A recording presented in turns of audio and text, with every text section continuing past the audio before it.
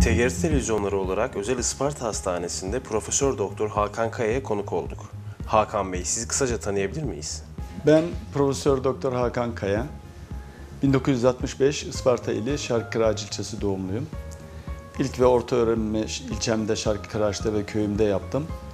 Ee, liseyi Isparta Gönen Öğretmen Lisesi, o zamanki adıyla Öğretmen Lisesi'ydi. Orada Isparta'da tamamladım. Tıp Fakültesini İstanbul Üniversitesi Cerrahpaşa Tıp Fakültesi'nde, e, ihtisasımı da Selçuk Üniversitesi Tıp Fakültesi Kadın Hastalıkları ve Doğum Anabilim Dalı'nda yaptım. Bir buçuk yılı geçkin bir süre Karseli Sarıkamış ilçesinde mecbur hizmet yaptım.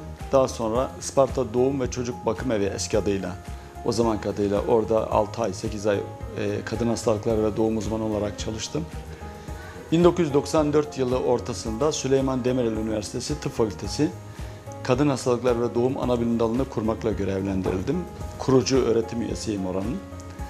Ee, daha sonra e, Bitlis, Tatvan ilçesinde askerlik hizmetimi tamamladım yedek subay olarak.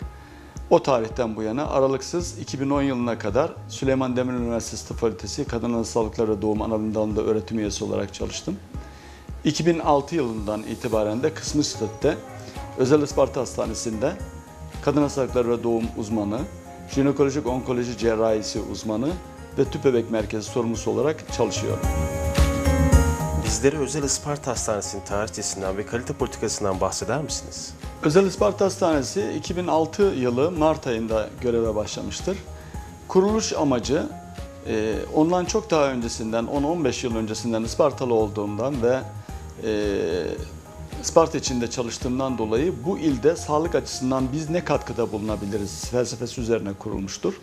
Yani daha önceden Isparta'da e, branşlarında hizmet verilen alanlar yerine daha az eksik olan veya vatandaşların tümüne hizmet edemeyen e, sayı olarak alanlar üstüne kurulma politikasını izlemiştir bugüne kadar. Dolayısıyla ilimizde sağlık hizmetinde eksik kalan, e, yetişilemeyen ve eklenebilecek ne gelişmeler varsa onlar bu hastanede baştan itibaren öncelikli olarak yapılandırılmaya çalışılmıştır. Dolayısıyla 2006 yılı e, Mart ayında biz göreve başladık. Kesintisiz bugüne kadar e, Isparta ili merkezinde hem Isparta ve çevresinden gelen illerimizden hem Türkiye'nin diğer illerinden gelen hastalarımıza hem de yurt dışından gurbetçi olup vatandaşlarımız izinlere geldiklerinde onlara hizmet vererek bugünlerimize geldik.